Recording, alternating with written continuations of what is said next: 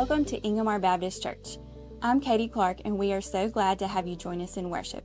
Here are a few things happening on the Hill.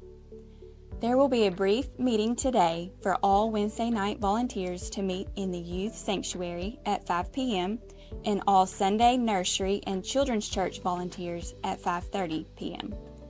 We will not have an evening service tonight on campus. Instead, we will meet at Ingomar Attendance Center for a time of devotion and prayer walk for the upcoming school year. Don't forget, Back to School Bash is this Wednesday, July 31st at 5 p.m. Roving retirees will go to Jim and Nick's Barbecue in Memphis on August 6th. Please see Wayne and Glenda Alexander for more details. There will be a church financial seminar on August 12th from 5 p.m. to 8 p.m. at Hillcrest Baptist Church. A meal will be provided. All members of finance, personnel committees, and deacons are encouraged to attend. Please contact church office by July 31st to RSVP. IBC will begin taking family photos for an updated church directory starting on Saturday, August 10th in the old nursery. There are two different sign up sheets on the welcome desk in the south foyer one for singles and couples, and another for families of three or more. Be sure to pick up a registration form, which will be next to the sign up sheets. Fill it out and bring it with you to your session. Time is limited, so be sure to sign up soon. Please see Hayden or Kim Edwards with any questions. Finally, if you are visiting with us, please take a second to scan the QR code or fill out a guest card and stop by the welcome desk on your way out to pick up a free gift. That's what's happening on the Hill. Thanks for being here to worship with us.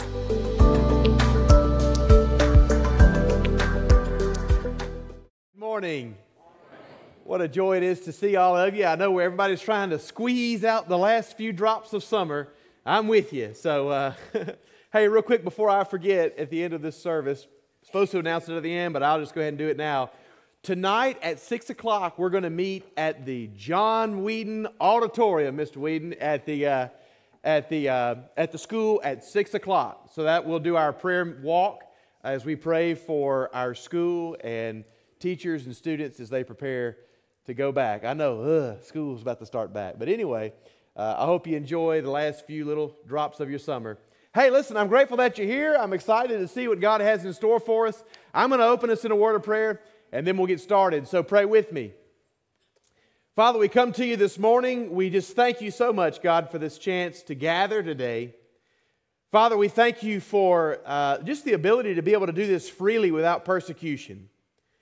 Father, I pray that as we go through this service, Father, I pray that you would do a mighty thing, that you would move, that you would, Father, bring a conviction, that you would uh, bring joy to our lives, that we might worship you, Father God, with just joyful spirits. Father, I pray this morning that you would simply be with us. And I ask all these things in Jesus' name. Amen.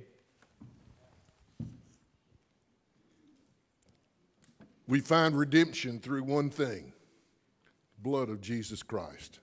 That blood was shed for you and for me and for all who will claim him on a hill called Calvary. Let's stand together.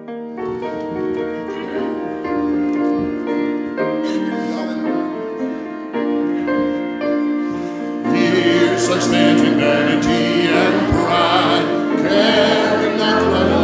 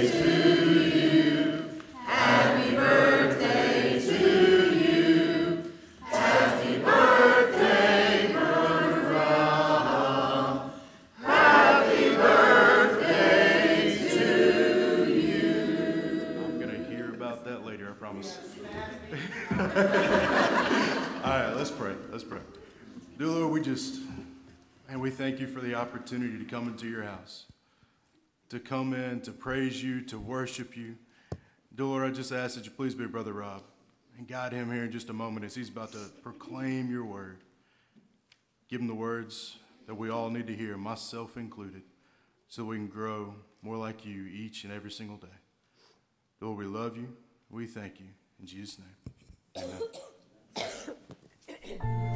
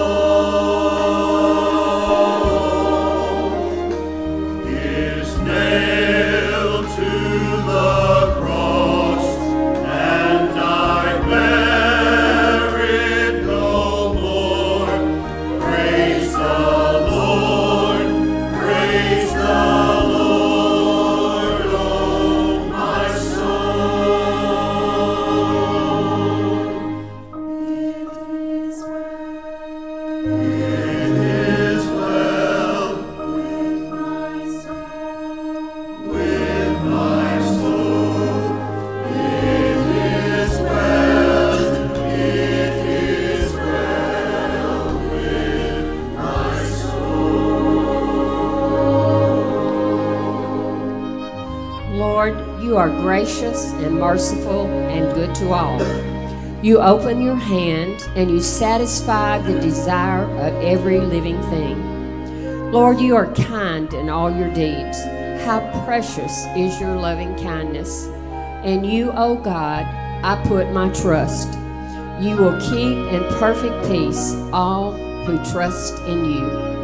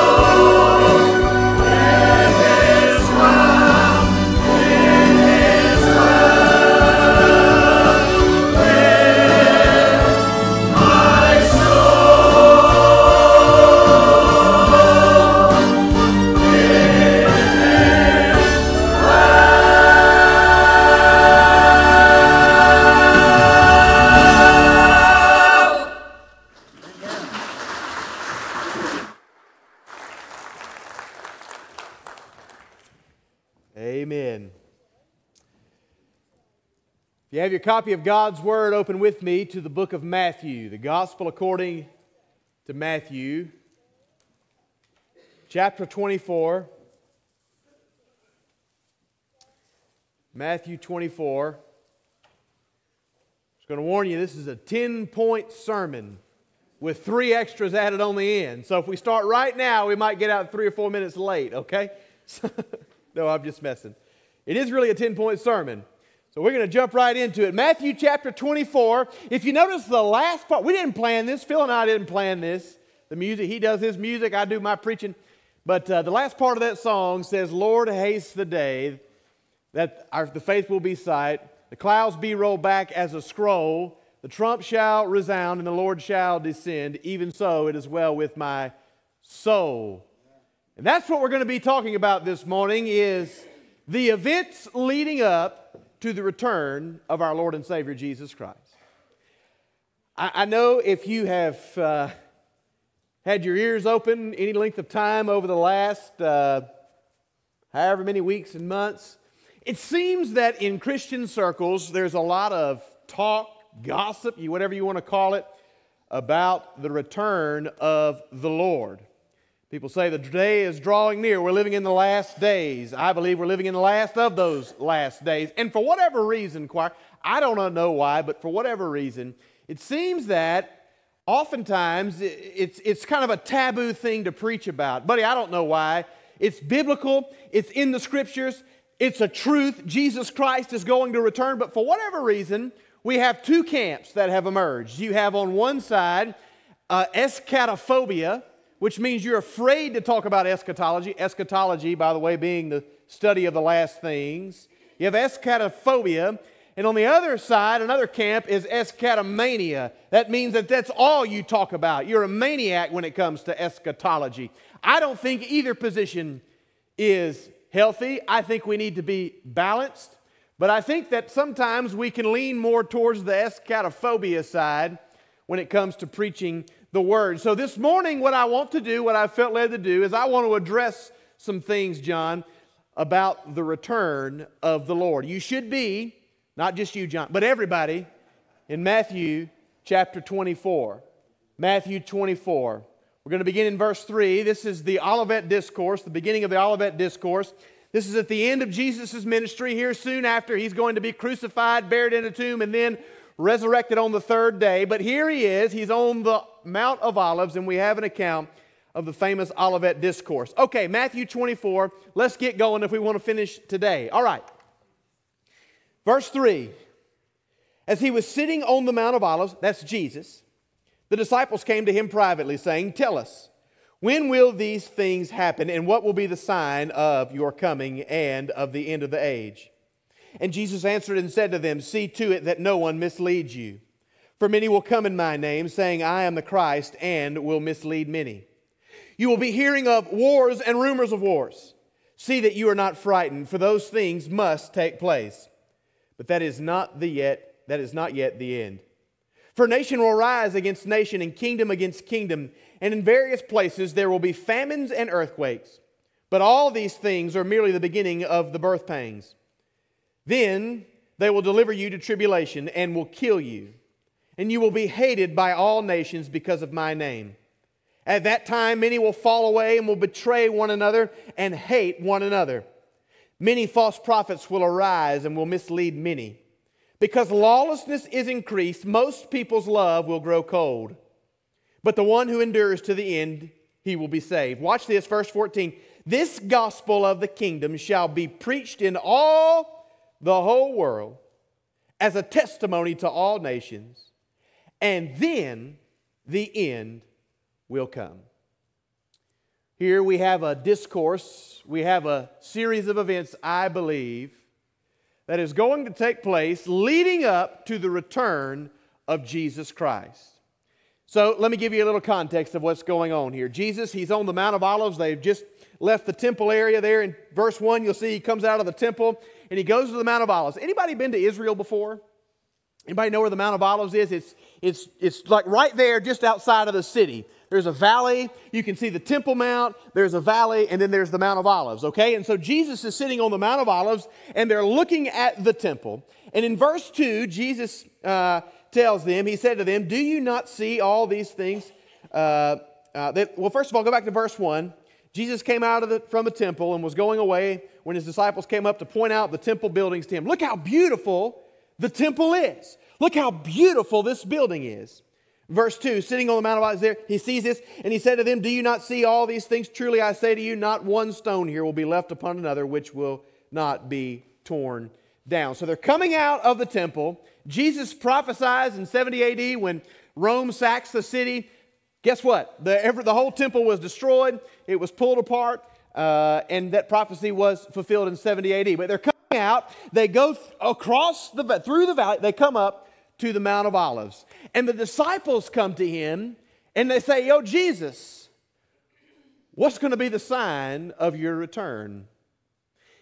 And in response to those disciples, he gives them a list of things, signs, events, descriptors of the world, of the signs, descriptions of what is going to happen leading up to his return. Does that make sense? Furthermore, let me say this that he relates these signs to birth pains, to labor pains. Okay, we know about that very well, hopefully, here, right? Uh, uh, birth pains, right? You've, you've, some of you ladies, you've had children, you understand contractions, that they start off kind of weak, far apart, and as labor grows closer, you get closer to the delivery, what happens to the contractions? They get stronger, they become more intense, they get closer together, right? Leading up to the birth of the child. And Jesus, Rick, is saying that here, these are the signs that are going to take place, and they're going to be like labor pains on a woman, meaning that they'll start off not as intense, and as we draw closer to the last days, they'll be more intense, more fervent, and they'll be closer together. Does that make sense? Raise your hand if you understand where we're at, okay? So the disciples have come to him, and then he starts off with this. And I want to say this. I want to, before we go any further into the 10 points, okay? I got 30 minutes to do it. he gives them a warning. And I want to pause right here, and I want every one of us to have a warning concerning eschatology. Watch this, verse 4. Jesus answered and said to them, See to it that no one misleads you. Listen to me. There is so much junk going around about our faith, and that's what it is junk. But more specifically, let me say this there is so much junk going around concerning the last days. Okay? Look, you, you seen on Facebook the thing about the, the, the solar eclipse making a Hebrew I, I don't know. I've taken Hebrew, and I don't think I saw that letter that they said it was going to. It doesn't look like that. Anyway, there's, you know, you see things like that. You see people getting on TV, and they say, uh, uh, this is the day I had a vision, and this is the day of the rapture, and the Lord's coming back this day. Let me tell you, Jesus specifically said in the Word of God, no man know the day or the hour. So there is a bunch of junk out there concerning eschatology. Okay? So I'm not saying be eschatophobic, okay? But I'm also saying don't believe everything that you see on Facebook, okay? Look at what Jesus says. I think if he were to write this today, don't believe everything you see in Facebook. Jesus answered and said to them, See to it that no one misleads you. So, church, don't be misled. Where do we get our information from? Right here, the Holy Scripture, the inerrant, infallible, inspired Word of God. Amen? 10 things, 10 signs leading up to the return of Christ. And they will grow stronger, stronger, and closer together as we draw near to his day. Let me say this right quick. Is anybody looking forward to the day of the Lord, the Parousia? I am. Praise God. I am looking forward to the day that my faith will be sight and the clouds are going to roll back as a scroll. Ten signs, ten signs leading up to his return. Number one, many, for those taking notes, many will come claiming to be Christ. Many will come claiming to be Christ. Look at verse 5. Jesus said, For many will come in my name, saying, I am the Christ, and will mislead many. Did you know that in 2017, New Zealand Herald reported that in 2017, there were seven men on the globe that claimed to be Jesus Christ and had a significant following in 2017. Many people have come through the ages claiming to be Jesus Christ. We've had him here in America. There's a guy over in Asia that people are following that they think he is Jesus Christ. All through the ages, we have seen people claiming to be the incarnation of Jesus Christ. I think we've seen that in history. I think it's happened through history, and I believe it's happening right now. Let's put a check by that one. I won't dwell too long on that one. Number two, the second sign, the second sign that I want to point out is that there will be global conflict. Global conflict. This is a favorite one of everybody to say. Wars and rumors of wars, right? Watch. You will be hearing of, verse 6, you will be hearing of wars and rumors of wars. See that you're not frightened, for those must, things must take place, but that is not yet the end. I'll come back to that in a second. Go to verse 7. For nation will rise against nation, and kingdom against kingdom. Jesus says that as we draw closer to the last days, there will be nation against nation and wars and rumors of wars. John, you're a military guy. Did you know that of the 10 deadliest wars in human history, nine of those have been in the last 200 years? Did you know that? Did you know what, you know what the deadliest war in all of human history was? World War II. World War II was the most deadly war that this globe has ever seen. However, turn the news on. I'm not trying to be political, I'm just trying to point something out to you. Take the blinders off for a second. Turn the news on. Have you not seen that instability on this globe is at an all time high? Do you not see that, that instability and rumors of wars and nations rising against nation continues to grow? As I'm preaching, did you know that there are currently 92 countries on this globe that are engaged in a foreign conflict? 92 countries. I know we talk about China and Russia, the United States, Israel, and Ukraine. But there are 92 countries on this globe right now, as I preach, that are engaged in a foreign conflict. It's kind of shocking. And Jesus promises, he says that as we draw closer to that day, this global instability, this, uh, glo- these global conflicts will only grow stronger and closer together. So we should be not shocked when Russia invades Ukraine. We shouldn't be shocked when Iran attacks Israel. Why? Because Jesus says that is what is going to happen leading up to his return. Number three, one more thing I want to point out before I take a break and show you something else. And that is natural. Number three, so if you're writing notes, okay, a third sign is that there will be an increase in natural disasters and epidemics. There will be an increase in natural disasters and epidemics. Watch this, verse 7 For nation will rise against nation, and kingdom against kingdom. Watch this, and in various places there will be famines and earthquakes.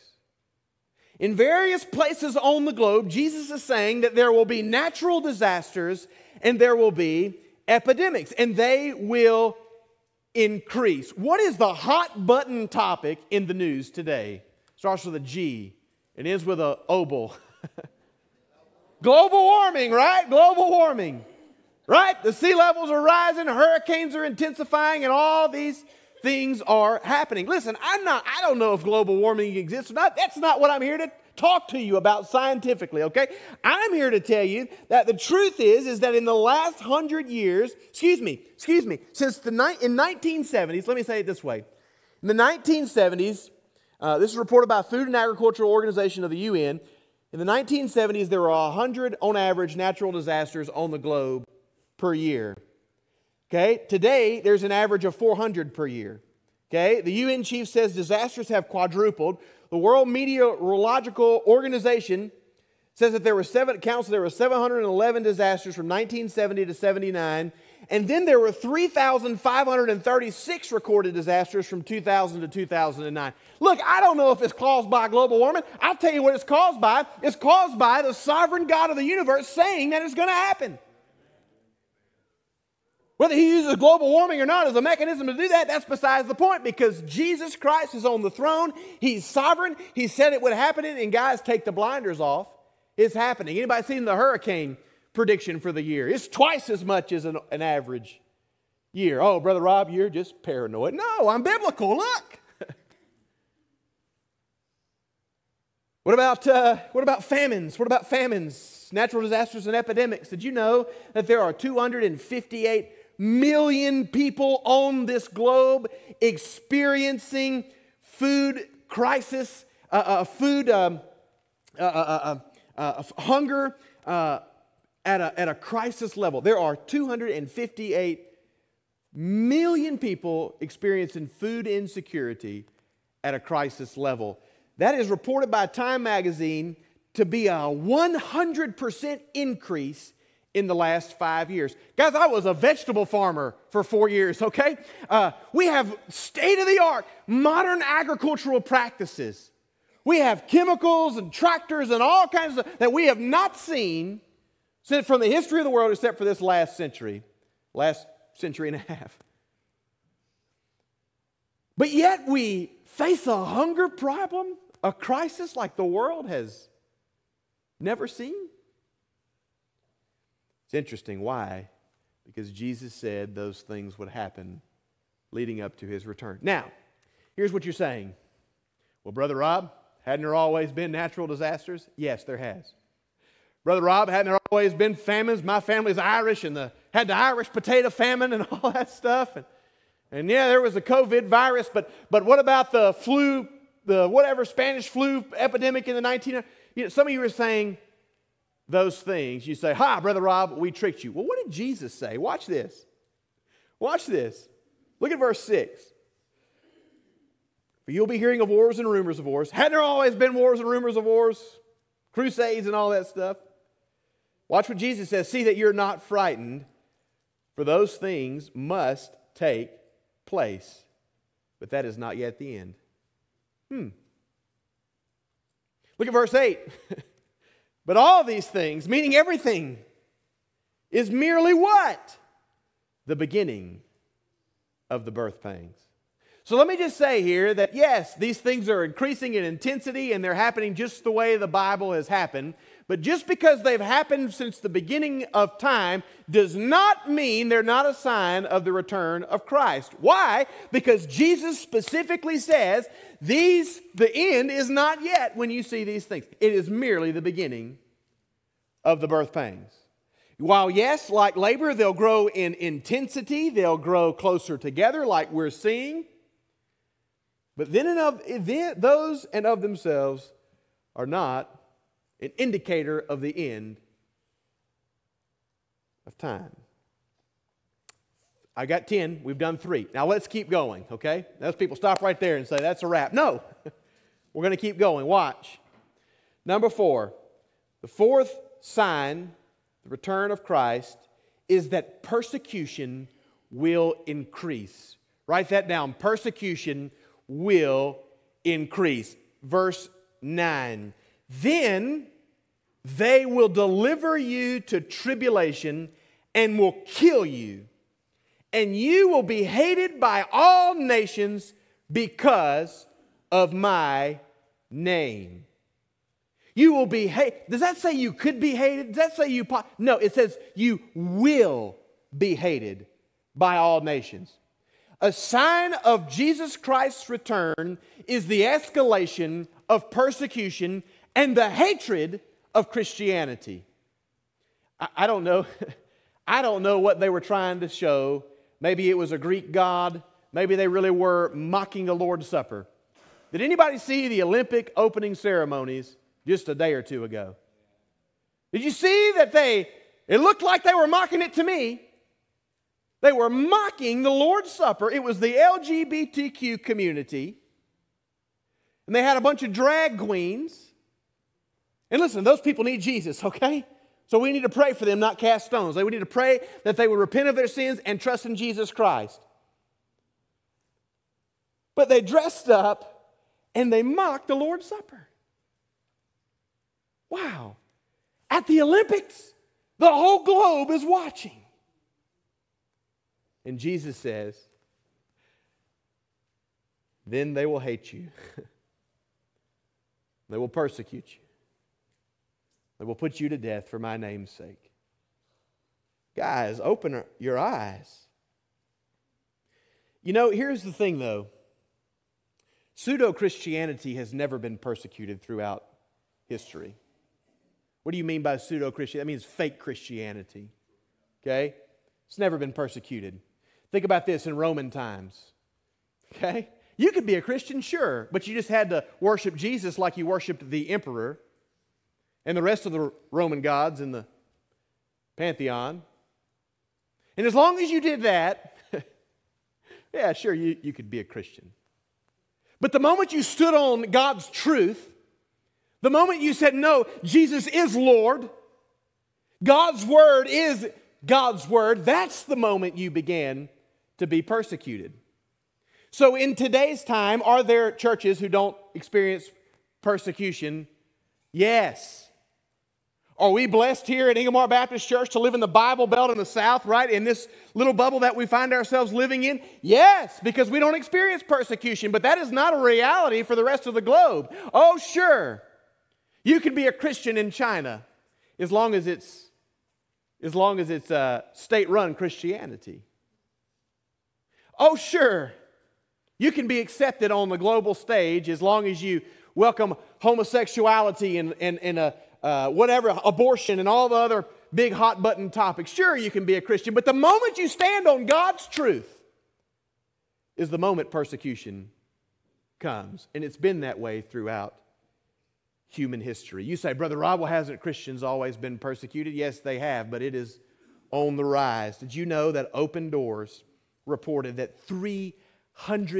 365 million people, that's more than the entire population of the United States, 365 million Christians face high levels of persecution for their faith. That is one in seven Christians on this globe today, right now, face severe persecution. Did you know that in 2023, attacks on churches and Christian properties reached an all time high since recorded history? The news doesn't report on those things, but it's the truth. It's happening all around. I won't name names. In fact, you have some persecuted Christians who are living right here in New Albany that have had to flee because of their faith. It happens. And the truth is, is that as Christ returns and we draw closer to that day, persecution will increase. I've said it before, I'll say it again. Listen to me, church. The days of cultural Christianity and your faith costing you nothing are over. They are coming to an end. It will cost you something to be a follower of Jesus Christ. So prepare yourself. Take the blinders off and see the world that we find ourselves living in. Because Christ indeed is coming. Number five, the fifth sign. Ooh, I got to hurry. I look at that clock every time and I spent too long on that one. The fifth sign is there will be an apostasy an apostasy. You know what an apostasy is? It's a falling away. Verse 10. He's giving us these signs. He's got this sequence of events, right, that's taking place. Verse 10. At that time, as persecution increases, at that time, many will fall away. Many will fall away. Guys, look around you.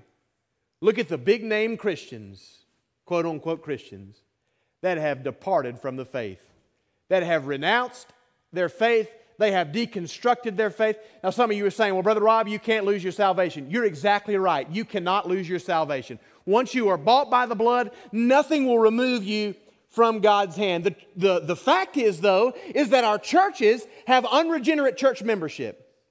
That means that you can join the church, you can walk an aisle, you can raise your hand, everybody can vote on you, not know who you are, and you can be a member of a church. And because of that, you can give the appearance, you can look the part, act the part, and you can pretend to be a Christian. And Jesus says that as persecution increases, those people who are unregenerate church members, who simply by lip service profess Jesus Christ, not a heart change, they will be pointed out. And they'll depart, depart the faith. Why? Because Christian Christianity, your faith is going to cost you something. And Jesus says that as we draw closer to that day, there will be a great departure. Guys, you're seeing it. Look at the Western society. Let's not pretend. We have had record number of baptisms at Ingomar Baptist Church, and I praise God for that. But we're an anomaly. Look at Western society. The Southern Baptist Convention is in a free fall when it comes to baptisms. The evangelical world in Western society is falling. People are departing the faith. The average age of churches is like 65 plus. I love you old people, but, but the truth is, is that if we don't start reaching young people, churches will die and close. And we're seeing it happen all across our nation and Western society in Europe. Why? Because we're seeing a great falling away. We're shocked. the truth is, we shouldn't be shocked. Why? Because Jesus said it would happen. And it's happening. Then, verse number six. the sixth sign is there will be internal betrayal and hatred. Internal, meaning internal to the church. Look at this. At that time, many will fall away and will betray one another and hate one another. Wow. How many churches do you think in the last hundred years in the state of Mississippi? I don't know the statistic, I should have looked this up. How many churches do you think in the last hundred years exist today out of conflict from another church? Meaning they're like, huh, we can't get our way, we're going to go to another church. They go start their own church. Now, listen, I am all for church planting. You understand me? I think it is the healthiest thing a church can do is to send people to go and plant a church in a healthy way. We ought to be a, people that are multiplying churches. We ought to fill this nation with new churches. If we planted a thousand churches in this nation, it wouldn't be enough. We hadn't run out of lost people, I'll tell you that. But how many churches do you think are planted, not planted, started out of division and conflict? The truth is, as a pastor, I deal with it every day. Conflict, and people are mad and upset and hatred towards one another. You say, well, Brother Rob, you shouldn't say that from the pulpit. It's the truth. I'm going somewhere with all this. Jesus says that'll be a sign that as Jesus draws near, there will be internal conflict within the churches. Look, he's talking about the churches. Verse 10 at that time, many will fall away. Fall away from what? Their faith. So he's speaking about the church and will betray one another and hate one another. Look around you guys. Look at the churches that are just here in our community, steeped in conflict and division, hatred. It's happening. Number seven. Number seven. The seventh sign is there will be an increase in false prophets slash teachings. So if you're taking notes, write it down false prophets slash teachings. Look at verse 11. Many false prophets will arise and will what? Mislead many. At that time, as we draw closer to the end, many false prophets will arise and mislead many. Guys, look at the garbage that is being expounded from our pulpits. Look at the garbage. Look at the mainline denominations that have fallen. You know, I grew up a Methodist, you know, and we were a little different doctrinally, I guess. I didn't know at the time because I wasn't a very good Methodist. but you know, the truth was we had an acolyte. You know, we'd light the candle and all that stuff. We'd wear a robe, maybe. We were a little more liturgical, formal. but there really wasn't that much difference between a Methodist and a Baptist. I didn't know the difference that much. But look at the difference today. Look at today. I'm not hating on the Methodist church. I pray they, they repent. We have a whole denomination that has accepted something clearly is sinful and it's being taught and expounded in pulpits. Look at the prosperity gospel. Look at people like Joel Osteen, Kenneth Copeland, that are preaching garbage and Hundreds of thousands of people are following them.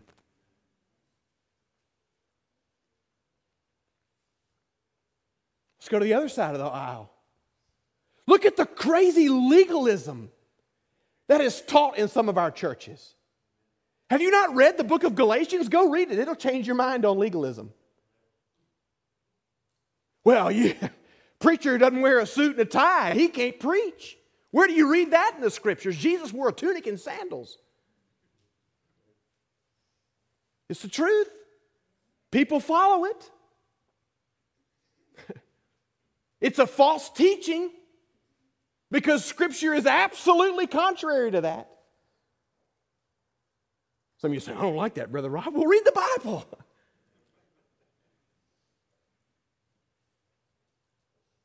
Look, guys, Look around us at the teaching that is being expounded. And then when we preach the Word of God, this is what the Word says we bristle our feathers up.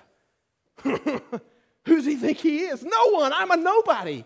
I'm a beggar telling another beggar where to find bread, as the famous dude said. 2 Timothy 4 3 says, For the time will come when they will not endure sound doctrine, but having itching ears, they shall heap to themselves teachers in accordance with their own lusts.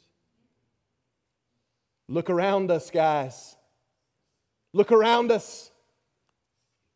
We are seeing it happen. False teachings and false prophets are on the rise, and it is very popular to follow after them. Jesus said, Be not deceived. Number eight,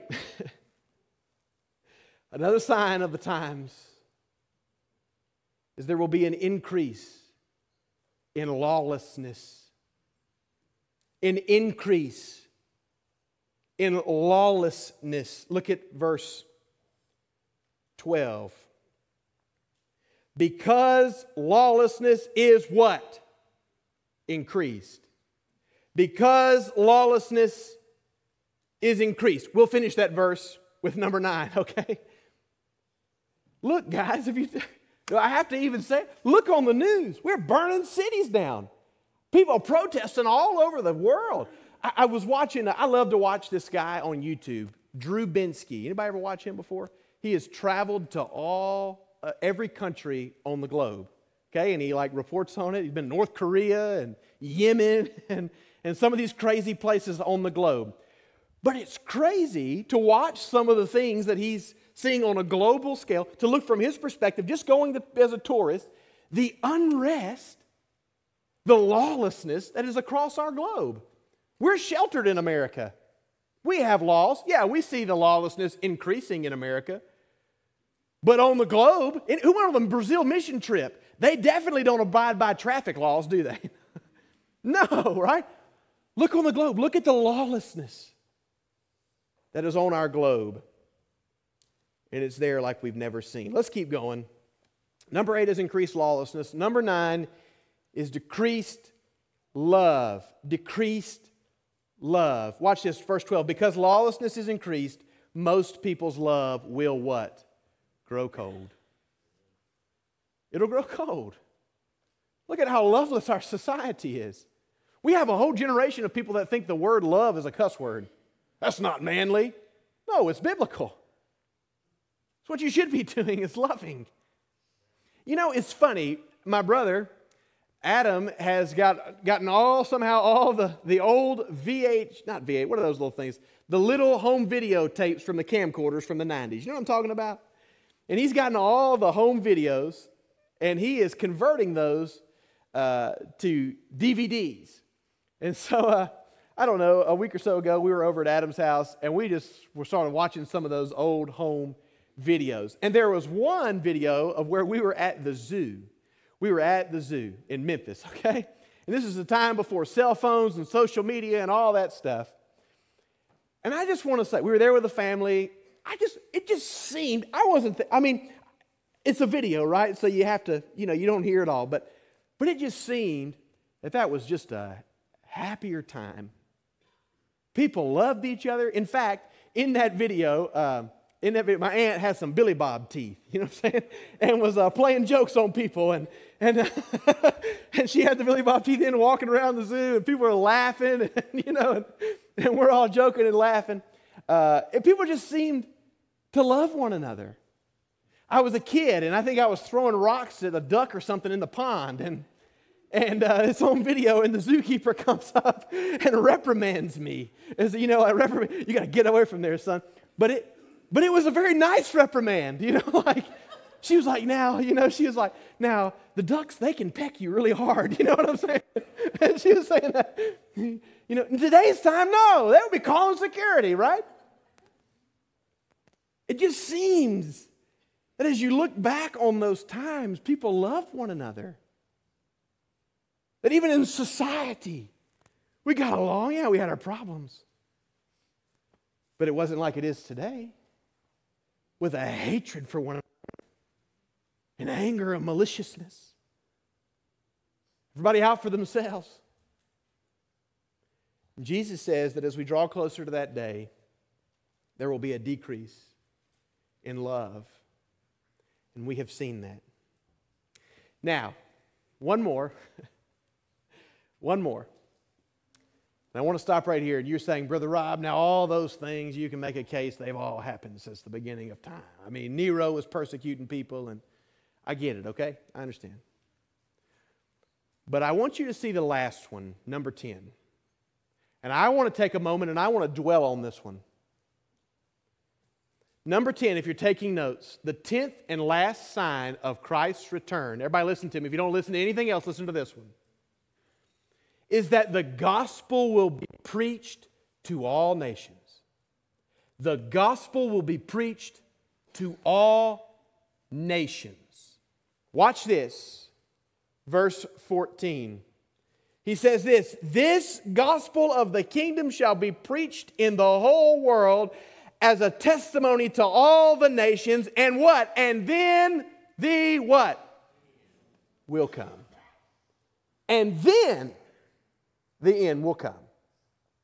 So, yeah, there's always going to be wars and rumors of wars, and yeah, they're going to grow in intensity and famines and earthquakes and all those things. But the last thing Jesus said would happen is that the gospel will be preached in the whole world to all the nations, and then the end will come.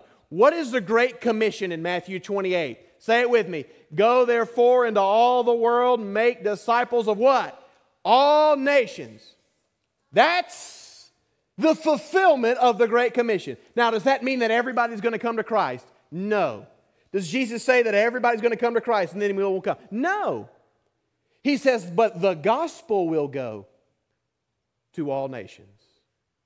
Ladies and gentlemen, at no point in the history of the world are we as close as we are to bringing the gospel to every nation on this earth. Every physical nation, every physical nation, every nation, national, has received the gospel. But I think Jesus, the word is ethnos in the Greek. That's where we get our word ethnic from. It means people groups. So you realize there are different people groups within nations, okay? Like the Native Americans, right? There are different tribes and different people groups. So, have we reached every people group on this globe? I don't know, but we're pretty close. You say, Brother Rob, how do you know that? Well, I was at the Southern Baptist Convention. This is just my belief. I was at the Southern Baptist Convention uh, two years ago, two Southern Baptist at New, in New Orleans. And the International Mission Board got up, Paul Chitwood. By the way, the International Mission Board is the largest missions organization on the face of the globe in the history of the world, okay? The International Mission Board got up to give their report, and the president, Paul Chitwood, un- unveiled a new program that they were starting, and it's called Project 3000. Project 3000. They are looking for 3,000 people. If you feel led to do this, let me know. I'll try to get you hooked up, okay? They are looking for 3,000 people to be explorers, is what they're calling them, to go and find unknown people groups. What that tells me is that the IMB has learned there are people groups they don't even know that, that exist. Like they don't even know if any more people groups exist. They've got to send people into the jungle with a machete to go and look for unknown people groups that no one has ever come in contact with. What does that say? It says that they're running out of unknown people groups. That's what it says. In fact, to quote their website, it will take a lot of research, but the IMB is committed to finding and engaging people so far off the map that not much is known about them and their exposure to the gospel. Wow. Wow. We have to find people living in some unknown place. You ever seen Google Earth? Right? Like you can you can look at any place on the globe with Google Earth. It means that we're running out of people who have never people groups, not every person, but people groups who have never heard or had a chance to hear the gospel. Wow. What about the invention and the, the, the, advent of the internet? I mean, you can be in the jungle of Cambodia. You could be in the jungle of Cambodia today, and you can get on YouTube or Facebook Live and you can watch this sermon being preached. Think about that. You could be at any place on this globe. You could probably be on the moon and live stream this service today. Think about that. And look at what Jesus says, verse 14. This gospel of the kingdom shall be preached in the whole world as a testimony to all nations, and then the end will come. Listen to me. I'm not a, trying to be a death, doom, and gloom and the short sleeve guy with a tie at 3 a.m. on YouTube telling you that Jesus gave me a revelation of the rapture. I'm not trying to be that guy, okay?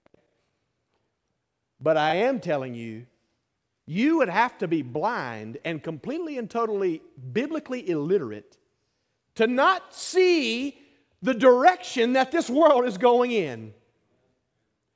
That these things are happening just as the Bible said they would happen. I don't have enough faith, guys, to believe we're not at the last part of the last days. I don't know when he's coming back. But I do know that he's closer today than he was yesterday. And I, I know the Lord could tarry, but I don't see him tarrying much longer, considering the things that must take place. I'm a few minutes over, but bear with me. I want to tell you what we should do. Well, that's great news, Brother Rob. What do we, what do we do with that? what do we do with that, Brother Rob? Well, here's what we do with it. Number one, I think we endure. I think as a church, we endure. As a Christian, we endure. Things are going to get tough. You heard it here first, okay? Things are going to get tough as a Christian. What do we do? We endure. Look at verse 13. But the one who what? Endures to the end will be saved. The one who endures. Keep the faith, stand firm in the faith, stand on biblical truths. Practice spiritual disciplines and remain steadfast as Christ draws near. Number one, we endure. Number two, what do we do? We unify. We unify. What do you mean by that, Brother Rob? Clearly, the scriptures teach that there is going to be disunity and confusion and chaos on this globe as we draw closer. Churches are going to split apart. People are going to be upset. Those worldly churches, let them be worldly. Here at Ingomar Baptist Church, we need to unify. As the world falls apart and crumbles, we need to be a people who are unified under one name. Yeah, we can disagree on some tertiary issues, but we must unify under one name, and his name is Jesus Christ. So we should unify. The world may crumble around us, but not us. Why? Because we are unified under one name and we're indwelled by one spirit. We should be a people who are unified. And then what do we do? do we circle the wagons, Jeff? Oh man. Circle the wagons? Do we dig a bunker in the backyard? Do we, we put some food down there, some MREs? we stock up on bullets? I mean, I don't know. No. You know what we do? We advance. We advance. The kingdom of God must advance. There is one name under heaven which men might be saved, and his name is Jesus Christ. And we are tasked with bringing that name to the ends of the earth. That is our purpose as a church. Not to sit around and pat ourselves on the back, but it's to advance the kingdom of God. We have one mission, and it is the Great Commission. And we're to preach this truth of this gospel across this globe, no matter the consequences. So, what do we do? Circle the wagons and dig a bunker in the backyard? No, we advance. And we be a light to an ever growing darker world. Why? So that Christ might be glorified and man might be saved. The truth is, is that there is unrest, there's uneasiness.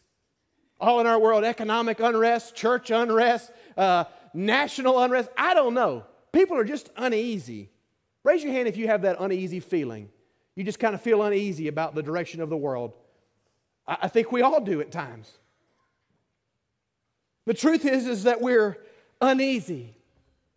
And the day, today, there's some that might be saying, I'm ready to cast the towel in and quit. No, you endure. You endure. You stand on the Word of God, you stand on the truth, you remain steadfast. It's real easy for us to fall into the temptation of disunity, casting stones and upset over this and upset over that. No, you unify under one name. Be unified, reconcile yourselves one to another. Stay unified, be unified. And the truth is, there are some who have circled the wagons. I'm going to stay right here in Ingomar, and I'm going to build a wall. We'll build a gate. No. No. The mission hasn't ended. You get up and you advance. In the Marine Corps, right? You would buddy rush, take the hill, man. Take the hill, get up. And you advance the gospel in the kingdom of God. What are we to do? We're to endure, we're to unify, and we're to advance. So, church, listen to me. This time of invitation, it's for you. I don't know what this world has in store for us. I don't know what's to come next. But I would ask you today make a commitment that you're going to endure, you're going to unify, and you're going to advance the kingdom of God. Stand with me.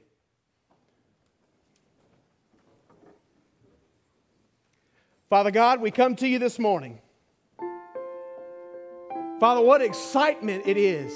What exciting times we find ourselves living in, Lord, to be here in these last days, advancing the gospel, being unified under one name and enduring as a good soldier for Jesus Christ.